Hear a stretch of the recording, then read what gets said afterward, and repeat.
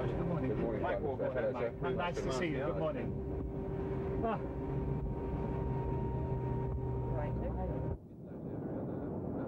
And they are broken machines in Italy by pulling out power. we really still need the embargo.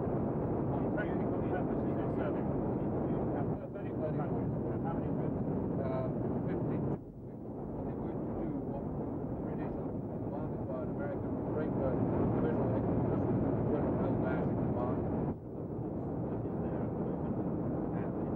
So the, the principle about, if you ask me what the most effective multinational force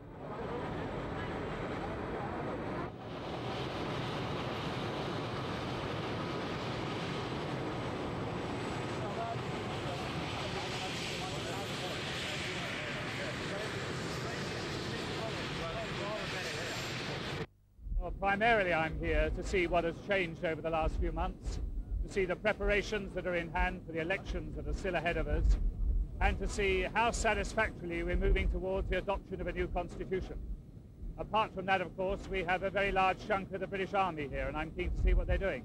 Are you going to try and decide whether the troops will pull out on time or whether they'll have to stay here longer?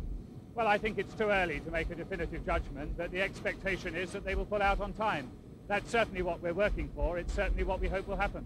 Is it time for is it time for I-FOR Prime Minister to play a more active role in seeking to pull in Radovan Karadzic? Well, I think they are taking an active role.